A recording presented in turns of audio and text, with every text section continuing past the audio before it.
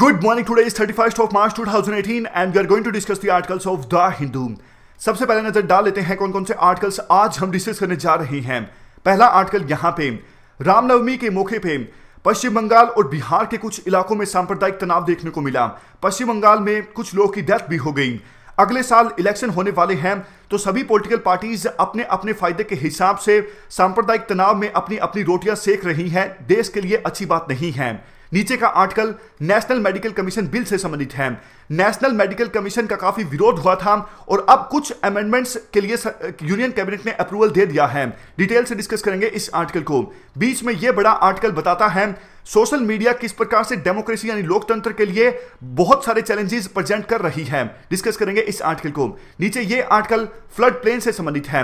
Writer बताते हैं flood plains को किस प्रकार से इस्तेमाल किया जा सकता है शहरों में पानी की समस्या को दूर करने के लिए, और किसानों को इससे काफ़ी फ़ायदा होगा, और रिवर्स में पानी की क्वालिटी भी इंप्रूव होगी इकोसिस्टम रिस्टोर होगा। इस आर्टिकल पे भी हम डिटेल से चर्चा करेंगे। दूसरे पेज पे ग्राउंड ज़ीरो प्रकाशित है। हर सैटरडे को प्रकाशित होता है। ग्राउंड ज़ीरो इंपॉर्टेंट नहीं होता। फैक्चुअल और रीजनल डिटेल्स होती हैं। चलिए डिस्कशन स्टार्ट करते हैं। सबसे पहले हम नेशनल मेडिकल कमीशन बिल से संबंधित आर्टिकल को डिस्कस करेंगे। जीएस पेपर टू के इस टॉपिक में ये आर्टिकल कवर होगा। हमारे देश में फ़िलहाल डॉक्टर्स की बहुत ज़्यादा कमी है, खास करके रूरल एरियाज़ में। और कुछ मेडिकल कॉलेजेस ऐसे हैं जो सिर्फ़ नाम के मेडिकल कॉलेजेस हैं। इंफ्रास्ट्रक्चर प्रॉपर नहीं है, ना ही फैकल्टी है। बस कैसे ना कैसे करके रिश्वत देके उन्होंने लाइसेंस हासिल कर लिया है और अपनी दुकान चला रहे हैं। लेकिन देखो, जो कैंडिडेट्स जो स्टूडेंट्स पास आउट होते हैं, इन घटिया मेडिकल कॉलेजेस से उनकी क्वालिटी अच्छी नहीं होती। और जो बॉडी मेडिकल एजुकेशन को फ़िलहाल रेगुलेट करती है मेडिकल काउंसिल ऑफ़ इंडिया इस बॉडी में भी बहुत सारी कमियाँ हैं, बहुत सारा करप्शन है। तो इन सब चीज़ों को एड्रेस करने के लिए सरकार पार्लियामेंट के विंटर सेशन में पिछले साल एक बिल लेकर आई।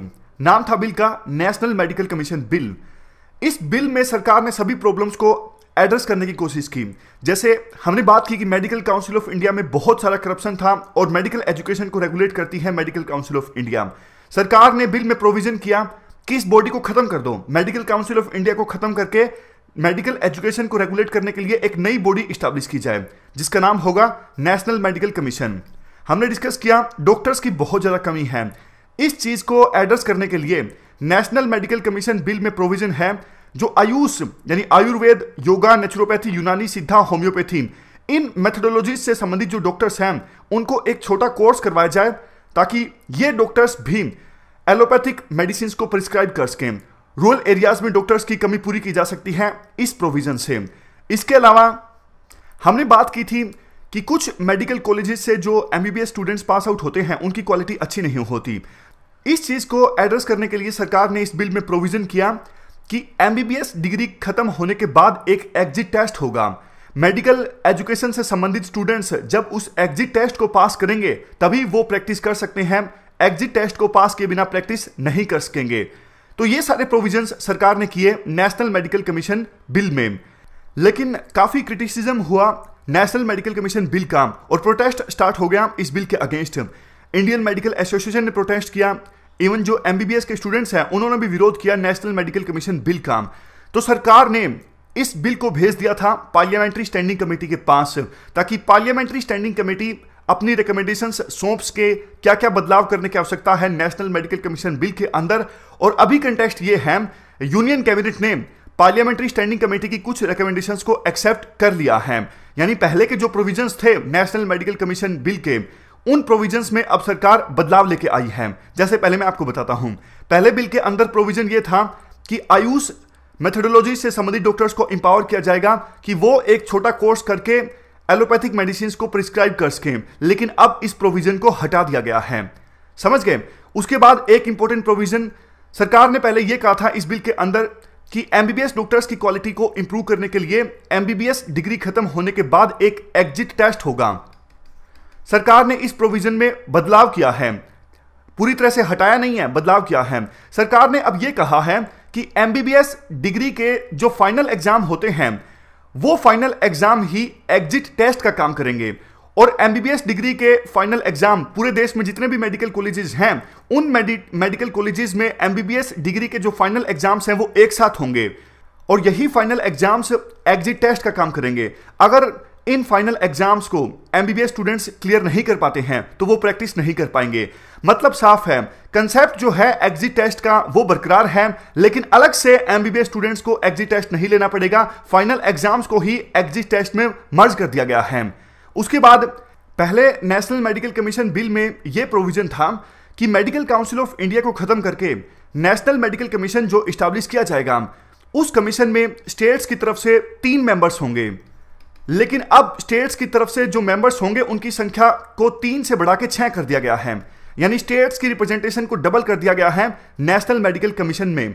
स्टेट्स को खुश करने के लिए यह अमेंडमेंट की गई है।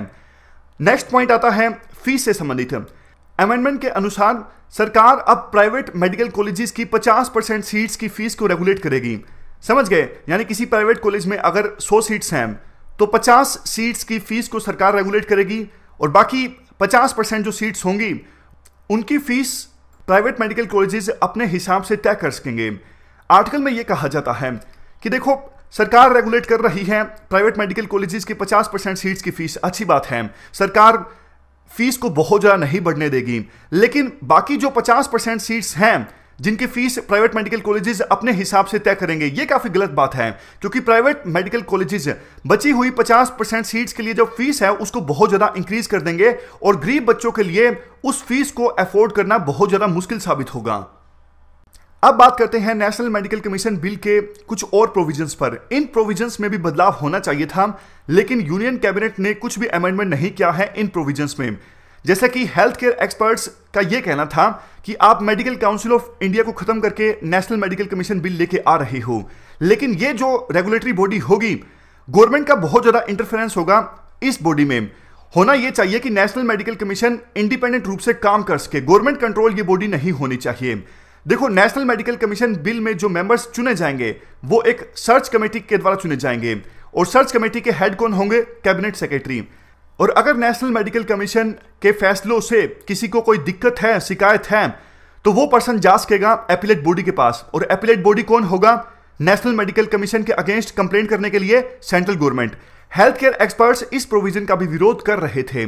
उनका यह कहना था कि देखो नेशनल मेडिकल कमीशन के डिसीजंस के अगेंस्ट एपिलेट जो बॉडी है, वो इंडिपेंडेंट होनी चाहिए। सेंट्रल गवर्नमेंट को एपिलेट बॉडी नहीं होना चाहिए नेशनल मेडिकल कमीशन के डिसीजंस के अगेंस्ट कंप्लेंट करने के लिए। और पार्लियामेंट्री कमेटी ने भी यही कहा था। पार्लियामेंट्री कमेटी ने कहा था कि नेशनल मेडिकल कमीशन के डिसीजंस के अगेंस्ट कंप्लेंट करने के लिए एक इंडिपेंडेंट एपिलेट बॉडी होनी चाहिए, ना कि सेंट्रल गवर्नमेंट ही काम करे एपिलेट बॉडी के तौर पे। आगे आर्टिकल में कहा जाता है, देखो, वैसे तो यूनियन कैबिनेट ने जो अमेंडमेंट्स को अप्रूवल दिया है इस बिल के अंदर, उसके बाद भी इस बिल में काफ़ी सारी कमियाँ हैं डेफिशिएंसीज हैं। लेकिन फिर भी अगर यह बिल पारित होता है तो मेडिकल एजुकेशन में काफ़ी सारे अच्छे बदलाव लेके आएगा ये बिल अगर पारित हो जाता है एक्ट बन जाता है। लेकिन काफ़ी सारे चैलेंजेस भी होंगे। रूल्स और रेगुलेशंस को डिज़ाइन करने में बहुत सारी दिक्कतें आएँगी, क्योंकि यूनियन कैबिनेट ने जिस अमेंडमेंट को अभी अप्रूवल दिया है, कि एमबीबीएस डिग्री के जो फाइनल एग्ज़ाम्स हैं, वही फाइनल एग्ज़ाम्स एग्जिट टेस्ट का काम करेंगे। और देश के सभी मेडिकल कॉलेजेस के ये फाइनल एग्ज़ाम्स एक साथ होंगे। जैसे देखो मेडिकल कॉलेजेस में एंट्रेंस के लिए जो एग्ज़ाम होता है, एक ही है फ़िलहाल नीट तो उसी प्रकार से सभी मेडिकल कॉलेजेस के एक साथ ही फाइनल एग्ज़ाम्स होंगे और वही फाइनल एग्ज़ाम्स एग्जिट टेस्ट का काम करेंगे। लेकिन देखो आर्टिकल के हिसाब से फाइनल एग्ज़ाम्स सभी मेडिकल कॉलेजेस के एक साथ करवाना बहुत मुश्किल काम होगा। क्योंकि देखो एंट्रेंस एग्ज़ाम कंडक्ट करवाना तो आसान है। मल्टीपल चॉइस क्वेश्चंस की सहायता से एंट्रेंस एग्ज़ाम को कंडक्ट करवाया जा सकता है और बच्चों के एप्टीट्यूड को चेक किया जा सकता है। लेकिन फाइनल एग्जिट एग्ज़ाम में तो जो एजुकेशन हासिल करी है फॉर एग्ज़ाम्पल इस केस में एमबीबीएस स्टूडेंट्स ने पाँच साढ़े पाँच सालों में उन्होंने जो कुछ सीखा है, उनकी थ्योटिकल नॉलेज प्रैक्टिकल नॉलेज वो सब चेक करना पड़ेगा। तो इसीलिए फाइनल एग्ज़ाम सभी मेडिकल कॉलेजेस का एक साथ कंडक्ट करवाने में काफ़ी सारे लॉजिस्टिक्स चैलेंजेस का सामना करना पड़ेगा नेशनल मेडिकल कमीशन को। जैसे एक चैलेंज वैसे ये भी है मेडिकल एजुकेशन में वेरिएशंस हैं डिफरेंट स्टेट्स में। हरियाणा का कोई मेडिकल कॉलेज यहाँ पे सिलेबस थोड़ा अलग है। आंध्र प्रदेश का मेडिकल कॉलेज वहाँ पे मेडिकल एजुकेशन या मेडिकल कॉलेज का सिलेबस थोड़ा अलग है। तो कैसे एग्ज़ाम्स एक साथ कंडक्ट हो पाएँगे जब विभिन्न स्टेट्स में मेडिकल कॉलेजेस मेडिकल एजुकेशन के जो सिलेबस हैं, उनमें थोड़ा थोड़ा चेंज है? इस प्रकार से चैलेंजेस तो काफ़ी हैं, लेकिन चैलेंजेस को दूर किया जा सकता है। Slow and phase wise manner में अगर सरकार चलेगी तो इन चैलेंजेस को दूर किया जा सकता है। अब बात करते हैं कंक्लूजन की। एक अमेंडमेंट जिसको अप्रूवल दिया है यूनियन कैबिनेट ने, वो ये है कि स्टेट्स अब अपनी मर्ज़ी से आयुष डॉक्टर्स को इंपावर कर सकेंगे, उनसे एक छोटा कोर्स करवा के, ताकि वो भी एलोपैथिक मेडिसिन को प्रिस्क्राइब कर सकें। पहले ये provision national medical commission bill में था, लेकिन जैसा हमने डिस्कस किया कि इंडियन मेडिकल एसोसिएशन ने काफ़ी विरोध किया था इस प्रोविज़न का तो अब सरकार ने नेशनल मेडिकल कमीशन बिल से तो इस प्रोविज़न को हटा लिया है, लेकिन स्टेट्स को राज्यों को इंपावर कर दिया है कि आपको लगता है कि ज़रूरत है डॉक्टर्स की तो आप इस प्रोविज़न को फॉलो कर सकते हैं। लेकिन आर्टिकल में कहा जाता है कि देखो, अगर विभिन्न राज्य इस प्रोविज़न को फॉलो करेंगे, आयुष डॉक्टर से छोटा कोर्स करवाएँगे तो डॉक्टर्स की क्वालिटी को रेगुलेट करना बहुत डिफ़िकल्ट हो जाएगा। लास्ट में एक बात ये बोली जाती है, अभी भी बहुत सारे ऐसे प्रोविजंस हैं जिन पे जिनका काफ़ी क्रिटिसिज्म भी होगा और फिर से प्रोटेस्ट भी होगा नेशनल मेडिकल कमीशन का, बिल का, और प्रोटेस्ट होना भी चाहिए और चर्चा होनी भी चाहिए, क्योंकि एक बहुत इंपॉर्टेंट बिल है। जितनी ज़्यादा डिबेट जितनी ज़्यादा चर्चा होगी national medical commission bill pay, उतना ही ज़्यादा अच्छा होगा इस बिल के लिए और हमारे देश में मेडिकल एजुकेशन के लिए। चलते हैं आगे। अगला आर्टिकल सोशल मीडिया और डेमोक्रेसी से संबंधित है। जीएस पेपर थ्री के इस टॉपिक में ये आर्टिकल कवर होगा। देखो, जब से सोशल मीडिया का इमरजेंस हुआ है स्टेट और सिटीजन्स के बीच रिलेशनशिप चेंज हो गई है और स्टेट की जो ड्यूटीज़ होती हैं सिटीजन्स के प्रति, उन ड्यूटीज़ में भी काफ़ी बदलाव आया है। पहले क्या होता था लिबरल डेमोक्रेसीज में, अगर स्टेट बहुत ज़्यादा इंटरफेयर करता था इंडिविजुअल्स के डोमेन में तो इंडिविजुअल्स स्टेट की इस इंटरफेरेंस का विरोध करते थे। बोलते थे कि हाँ भाई, आपका क्या काम? आप ताक झाँक क्यों कर रहे हो? लेकिन देखो, जब से सोशल मीडिया का इमरजेंस हुआ है स्टेट एक सर्विलियंस स्टेट में कन्वर्ट हो गया है। यानी इंडिविजुअल्स के डोमेन में ताक झाँक कर रहा है बहुत ज़्यादा स्टेट और एक हैरानी वाली बात यह है कि इंडिविजुअल्स अब स्टेट की इस सर्विलियंस की आदत का विरोध भी नहीं कर रहे हैं। क्यों? क्योंकि स्टेट ये तर्क देता है कि आजकल टेररिज्म बहुत ज़्यादा बढ़ गया है। हम सर्विलियंस कर रहे हैं। हम आपके डोमेन में ताक झाँक इसलिए कर रहे हैं ताकि हम आपको सुरक्षा प्रोवाइड कर सकें। यानी स्टेट अब बहुत ज़्यादा पावरफुल हो गया है। लेकिन स्टेट को चलाता कौन है? स्टेट को चलाती है सरकार। फॉर एग्ज़ाम्पल अभी इंडिया में सेंट्रल गवर्नमेंट है एनडीए की, और विभिन्न राज्यों में अलग अलग पार्टीज़ की सरकारें हैं। तो ये इंडिया को चला रही हैं। और गवर्नमेंट में कौन है? पॉलिटिकल लीडर्स हैं। तो पॉलिटिकल लीडर्स इनडायरेक्टली बहुत ज़्यादा पावरफुल हो गए हैं। यानी बहुत सारी पावर्स अपने पास इकट्ठा कर ली है। पॉलिटिकल लीडर्स ने इस सर्विलेंस की सहायता से। और आर्गुमेंट दिया जाता है ये कि हम आपकी सुरक्षा के लिए सर्विलेंस कर रहे हैं आपकी। उसके बाद पॉइंट ये आता है, वैसे तो देखो कुछ लोग ये कहते हैं कि सोशल मीडिया जब से आई है डेमोक्रेसी और ज़्यादा स्ट्रेंथन हो गई है। क्योंकि आम आदमी भी अब डेमोक्रेसी यानी लोकतंत्र में पार्टिसिपेट कर सकता है। लेकिन आर्टिकल के हिसाब से यह चीज़ सही नहीं है। क्योंकि अब कॉमन मैन का पार्टिसिपेशन नहीं बढ़ा है। कॉमन मैन की फॉलोइंग बढ़ गई है। मैं आपको एग्ज़ाम्पल की सहायता से बताता हूँ। आप में से कुछ लोग शायद इस बात से सहमत नहीं होंगे। फ़िलहाल हमारे देश की पॉलिटिक्स हमारे देश की राजनीति एक चीज़ के इर्द गिर्द घूम रही है। Modi versus anti Modi camp बहुत कम लोग ऐसे हैं हमारे देश में जो मेरिट्स के बेस पर हर एक इशू पे अपने व्यूज़ डेवलप करते हैं। उनके हिसाब से हमारे देश का भला होना चाहिए। वो किसी कैंप में नहीं है, ना मोदी कैंप में है, ना एंटी मोदी कैंप में है। देखो, ना तो मोदी की सारी पॉलिसीज़ ठीक हो सकती और ना ही मोदी की सारी पॉलिसीज़ गलत हो सकती। लेकिन अगर आप किसी भी कैंप में हो, अगर आप मोदी की सारी पॉलिसीज़ को ठीक बता रहे हो, या फिर आप सारी मोदी की पॉलिसीज़ को गलत बता रहे हो तो आप डेमोक्रेसी में पार्टिसिपेट नहीं कर रहे। इनडायरेक्टली आप फॉलो कर रहे हो और आर्टिकल इसी बात पे फोकस कर रहा है। आर्टिकल के हिसाब से पॉलिटिकल लीडर्स की जो फॉलोइंग है, वो बढ़ गई है।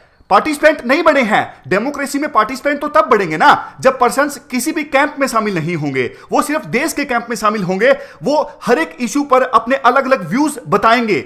ये तो हमने इंडिया का एग्ज़ाम्पल डिस्कस किया आर्टिकल में दिया जाता है यूएसए का एग्ज़ाम्पल यूएसए में ट्रंप ने बहुत ज़्यादा फॉलोइंग हासिल की सोशल मीडिया की सहायता से और वो इलेक्शंस भी जीते आधार कार्ड संबंधित जो डेटा इकट्ठा कर रही है सरकार, वो भी सर्विलेंस का ही एक पार्ट है और इससे भी हमारे जो पॉलिटिकल लीडर्स हैं, बहुत ज़्यादा पावर्स अपने हाथों में सेंट्रलाइज करते जा रहे हैं।